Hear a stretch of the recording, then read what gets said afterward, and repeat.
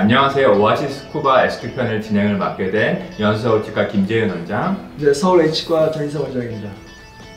원장님, 1편 MC 영상을 혹시 보셨나요? 아, 네, 그 김용진 원장님이랑 나기현 원장님이 하시는 거 봤는데 아, 그 두 분이 너무 잘해 주셔 갖고 부담감이 매우 큽니다. 걱정이네요. 아, 네. 저희도 1편 못지않게 무사히 잘 촬영을 마칠 거라고 생각을 하고 있습니다. 그럼 오늘 제품 한번 살펴볼까요? UV activator SQUVA입니다. SQUVA의 구성품은 본체와 전용 키트, RFID 카드, 어댑터와 전원선, 그리고 사용 매뉴얼로 구성되어 있습니다.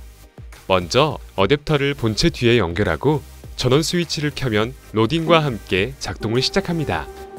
로딩이 끝나면 RFID 카드를 삽입하라는 음성 안내와 문구가 보입니다. 넣어주세요. 이제 동봉되어 있는 RFID 카드를 삽입하고 SQUVA를 사용할 준비를 마칩니다. 다음으로 키트 구성입니다. 키트는 픽스처 드라이버와 홀더가 있습니다. fixture 드라이버는 regular용 M2.0 드라이버가 3개, narrow용 M1.4 드라이버 1개, 그리고 홀더 2개로 구성되어 있습니다. 이제 fixture를 SQUVA에 사용해 보도록 하겠습니다. 픽스처에 맞는 드라이버를 선택하고 픽스처의 스크류홀에 드라이버를 체결하여 꺼내어 줍니다. SQ는 앰플의 하부쉬에 holding 기능이 되어 있어 드라이버 체결 시 fixture의 회전을 방지하여 체결이 쉽도록 설계되어 있습니다. 하지만 앰플에 holding 기능이 없는 임플란트를 사용 시에는 홀더를 사용하게 됩니다. 먼저 픽스처 식립 드라이버를 이용하여 fixture를 꺼냅니다. 홀더를 사용하여 fixture를 잡은 다음 드라이버를 제거합니다. 그리고 SQUVA 드라이버를 체결해주고 홀더에서 분리한 다음 UV 조사를 위한 준비를 마칩니다. SQUVA는 모션 센서로 모든 과정을 작동할 수 있는 기능이 있습니다. 센서가 모션을 인식하면 녹색빛으로 변하고 트레이가 내려옵니다. 체결된 픽스처와 드라이버를 트레이에 올린 다음 센서에 손등을 갖다 대고 푸른빛이 나올 때까지 기다립니다. 음성 안내와 함께 트레이가 닫히고 조사를 시작합니다. 조사 장치를 진공 상태로 만들기 위해 5초의 시간이 필요하며 UV 조사 시간은 10초면 충분합니다. 조사가 끝나면 자동으로 트레이가 내려옵니다. 이제 fixture를 꺼내어 사용하면 됩니다. 모션 센서 기능뿐만 아니라 터치 스크린으로도 작동이 가능합니다. 동일한 픽스처의 친수성 테스트입니다. 왼쪽의 SQUVA를 사용한 fixture가 월등하게 친수성이 좋아진 것을 확인할 수 있습니다. 오늘 소개할 제품은 SQUVA SQ인데요. 원장님, SQUVA SQ가 어떤 제품인가요? 어, 사실은 임플란트를 우리가 설명하지 못하는 지점들이 좀 있죠. 왜냐하면 soft marrow bone이라든가 아주 GBR를 많이 해서 실패한 경우라든가 혹시 그렇지 않더라도 원인을 알 수 없는 실패들이 종종 나오고 있죠. 그래서 어떤 우리가 많은 노력들을 해야 되는데 그것 중에 가장 큰 것 중에 하나가 이제 표면을 친수성으로 바꾸는 작업들을 하게 되는 거죠. 그래서 뭐 역사적인 얘기 너무 기니까 어쨌든 지금 이 덴티스에서 나온 SQUVA라고 하는 것은 UV light를 통해서 우리가 hydrocarbon, 그러니까 탄화수소라고 하는 거죠. 그걸 제거를 함으로써 약간 친수성으로 바꾸게 하는 것인데 이런 것에 대한 것을 이제 우리가 임상적으로 한번 좀 적용해 보려고 하는 거죠. 어, 이번에는 우리 김재현 원장님께서 준비한 임상 케이스를 보면서 한번 리뷰를 한번 해보도록 하겠습니다. 자, 스쿠바는 SQ UV 액티베이터의 이제 줄임말인데요. 제가 논문을 하나를 찾아봤는데요. 서울대에서 2019년도 어, 머티리얼즈에 이제 실린 논문인데 어, rabbit의 tibia에 어, 실험을 해서 우리가 10일째와 28일째를 비교를 했는데 초기 단계인 10일째는 이제 UV를 쬐는 부분이 SLA surface보다 조금 더 어쨌든 BIC라든지 BA라든지 여러 가지 측면에서 유리한 것이 관찰이 됐고요. 근데 너무 뭐 이쪽만 focusing을 보기보다는 제가 좀 관심 있게 본 거는 어쨌든 임플란트 표면이라는 거는 hydrophobic한 표면이고 이와 같이 물방울이 논문상에서도 저렇게 맺혀 있고 우리가 직접 실험을 하더라도 똑같은 현상이 벌어지는데요.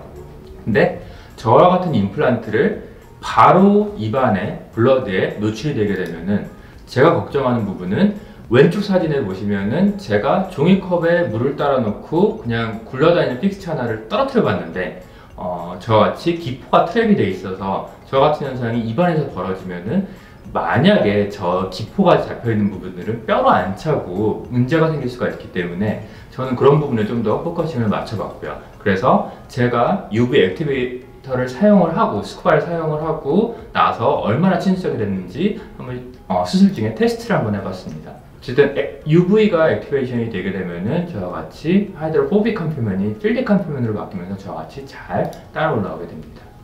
그래서 이 환자를 제가 20번대랑 30번대를 수술을 한번 해보도록 하겠습니다. 뭐, 골 상태는 크게 나쁘진 않았고, 37번만 버컬 약간 GBR만 해야 되는 되게 간단한 케이스였고요. 그 수술 영상 간단하게만 보겠습니다. incision을 넣고, flap을 간단하게 열고요. 마찬가지로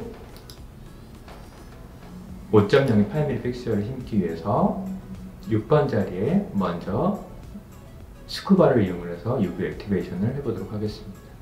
이렇게 스- 어시스트의 도움 없이 술자로도 술자의 손만으로도 자동 인식이 되어서 어, 기계를 작동시킬 수가 있고요.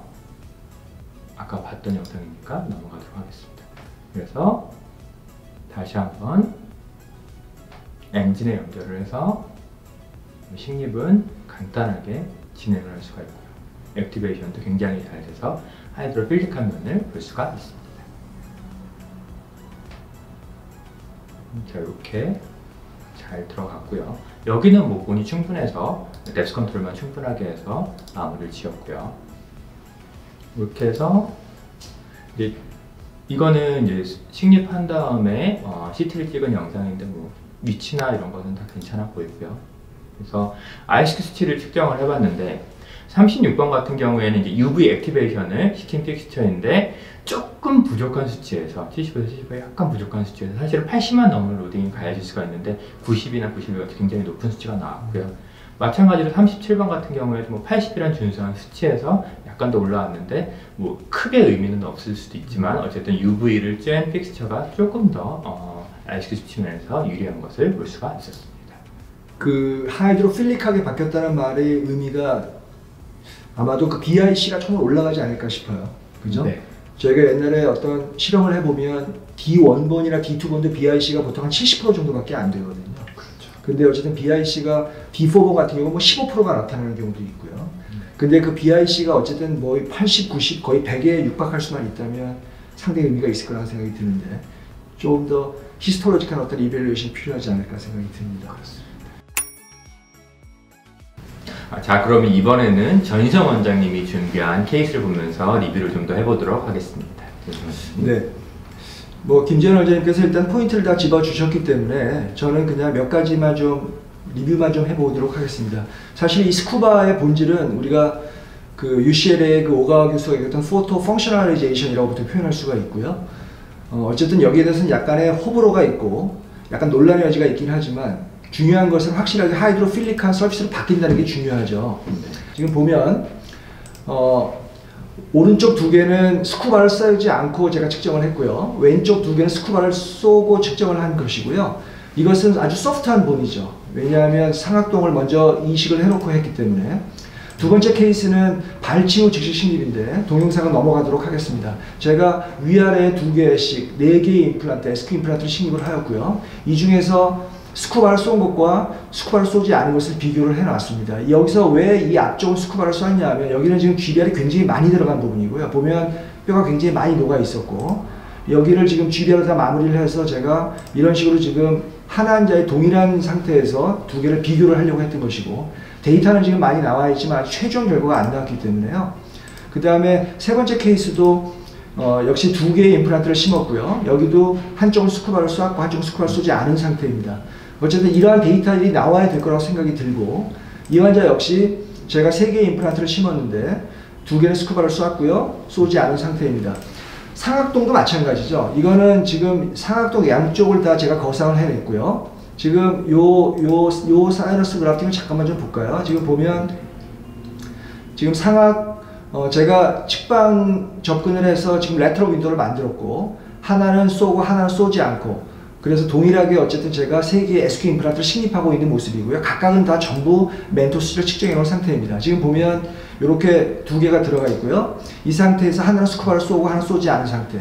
그리고 하악도 마찬가지죠. 여기도 지금 제가 이런 식으로 좀 구성을 다 해놨기 때문에 지금 우리가 사실 김 원장님도 느끼시겠지만 결국 어려운 게 텅 빈 탁뼈 같은 게 좀 어렵죠. 사실은요. 그 다음에 이제 GBR을 많이 한 경우가 어려울 것이고요. 그 다음에 이제 사이너스의 잔존치골이 아주 얇은 경우. 음. 이런 경우에 대한 어좀 더 깊은 얘기는 좀 더 향후에 어떤 오아시스 이 webinar를 통해서 한번 좀 다듬어 보도록 하고요. 네. 일단 이 스쿠바에 대한 얘기는 좀 더 정밀한 분석이 필요할 거라고 생각이 듭니다. 제가 지금 결과가 거의 나온 케이스 이거 하나를 잠깐 좀 보고 마무리 좀 지어보도록 하겠습니다. 지금 양측에 SQ 임플란트를 심었고요. 이쪽에서 한 제가 미리 수술 후에 직후에 지금 멘토스 측정을 했죠. 오른쪽은 스쿠바를 쏘지 않은 것, 지금 81로 나오고 있고요.